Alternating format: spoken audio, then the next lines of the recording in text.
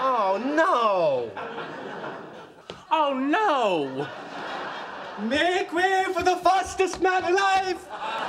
Oh no! We have to fill these out.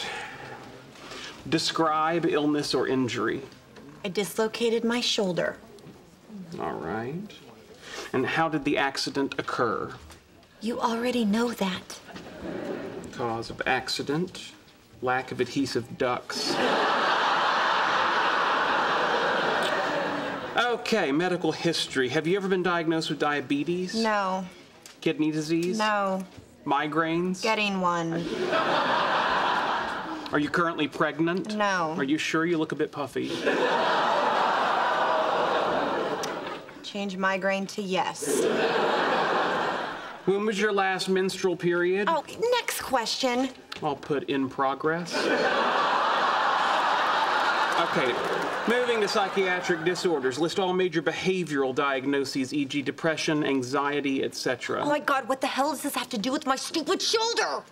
Episodes of subpsychotic rage,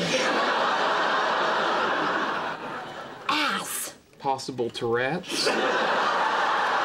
I'm Amy Farrah Fowler, you're Sheldon Cooper. Hello, Amy Farrah Fowler. I'm sorry to inform you that you have been taken in by unsupportable mathematics designed to prey on the gullible and the lonely. Additionally, I'm being blackmailed with a hidden dirty sock. If that was slang, I'm unfamiliar with it. If it was literal, I share your aversion to soiled hosiery. In any case, I'm here because my mother and I have agreed that I will date at least once a year. Interesting. My mother and I have the same agreement about church. I don't object to the concept of a deity, but I'm baffled by the notion of one that takes attendance. Well, then you might want to avoid East Texas. Noted. Now, before this goes any further, you should know that all forms of physical contact, up to and including coitus, are off the table. May I buy you a beverage? That's television and movies. Section 9, miscellany. the apartment's flag is a gold lion rampant on a field of azure. We have a flag? I believe that is flag to crotch for checkmate. Easy peasy, ooh, so breezy.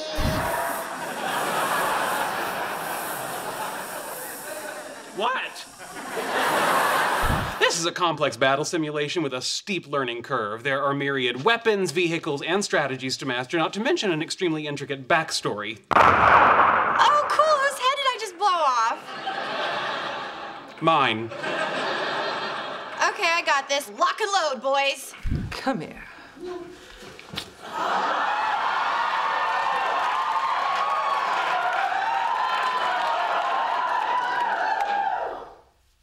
I'd rather have the busboy. I recently trained a capuchin monkey to smoke cigarettes. Have you learned anything? Yes, he looks much cooler than the non-smoking monkeys.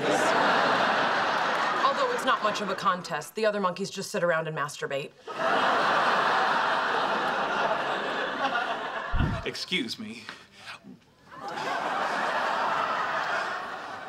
Is it at all possible that you're knitting a pair of pants? Where are my pants? You might want to check YouTube. Let's get down to the math.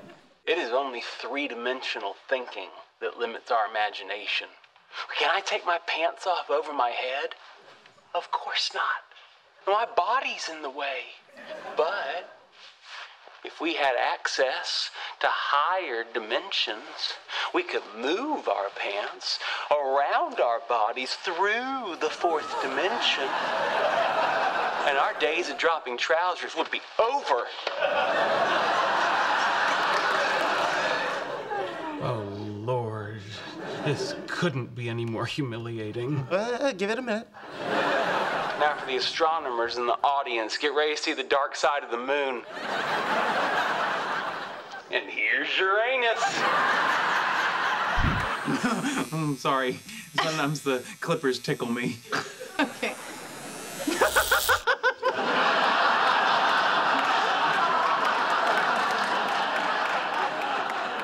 okay, yeah, we're all done now. Before you is a, a, giant oak tree with a face on it that looks a lot like Nicolas Cage.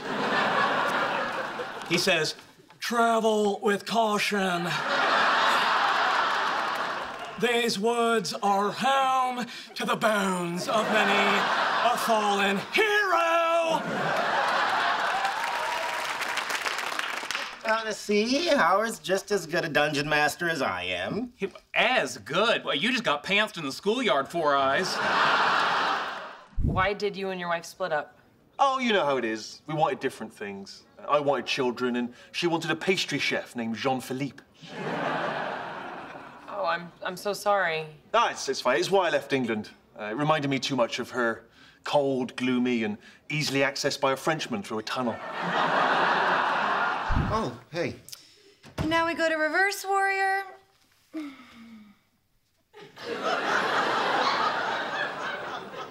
How did she get you to do yoga? Well, to be honest, I thought she said Yoda.